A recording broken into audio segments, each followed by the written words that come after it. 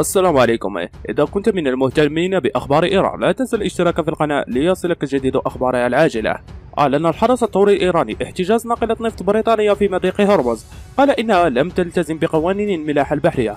وأوضح الحرس الثوري أن قوارب القوات البحرية في المنطقة الأولى وبأوامر من مؤسس موانئ محافظة هرمزغان قامت باحتجاز الناقلة سيتان أومبرو. وأضاف أنه تم توجيه الناقلة إلى السواحل الإيرانية وتسليمها إلى منظمة موانئ والملاحة الإيرانية لبدء التحقيق وطي المرحلة القانونية. وقبل إعلان الحرس الثوري عن احتجاز الناقلة أكدت وزارة الدفاع البريطانية أنها تعمل على الحصول على مزيد من المعلومات عقب ورود أنباء حول توجيه سفينة تحت علم بريطانيا إلى المياه الإيرانية في الخليج.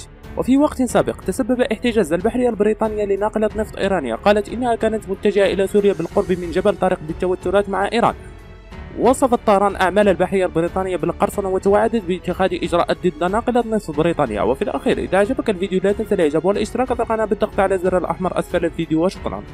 إذا أعجبك الفيديو لا تنسى الإعجاب والتعليق ولكي يصلك كل جديد. اشترك الآن.